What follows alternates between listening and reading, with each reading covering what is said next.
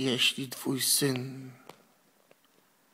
nosi różaniec, klęczy przed świętym obrazkiem, mruczy coś do siebie, modląc się, to wiedz, że coś się z nim dzieje. To wiedz, że coś jest z nim nie tak. Jeśli twojego syna ksiądz łapie za rękę, ściska, głaska i całuje w policzek, to wiedz, że ktoś się nim interesuje. To wiedz, że ktoś mu może zrobić krzywdę. Jeśli ktoś jedzie rowerem, odmawia różaniec i kieruje jednocześnie, to wiedz, że może się coś zdarzyć.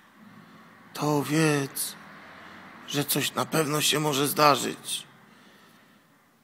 Jeśli idziesz procesji do Częstochowy, jeśli idzie takich jak was, pięćdziesięciu, a jesteś dziewczyną, to wiedz, że możesz mieć dziecko. To wiedz, że ktoś się tobą tam interesuje.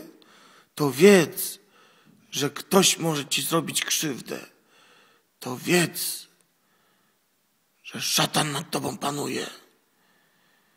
Jeśli nie chcesz się pozbyć niechcianej ciąży, bo wiesz, że będzie chory płód,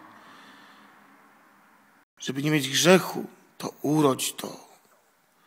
A jak to urodzisz, to wiedz, że my się tym zajmiemy. To wiedz, że my takie dzieci kochamy.